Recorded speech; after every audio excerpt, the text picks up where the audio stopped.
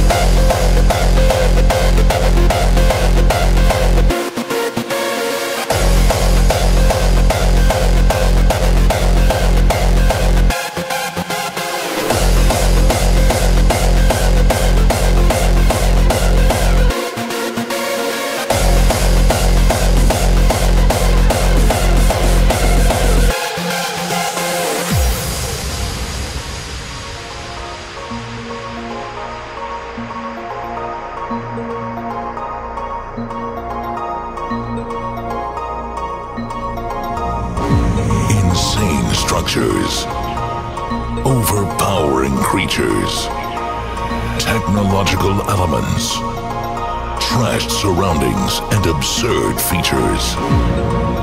This is a world not seen before. A world only existing in books and tales. A world where the insane have the truth a place of freaks and a kingdom of maniacs. This is the world we know best. The world of madness.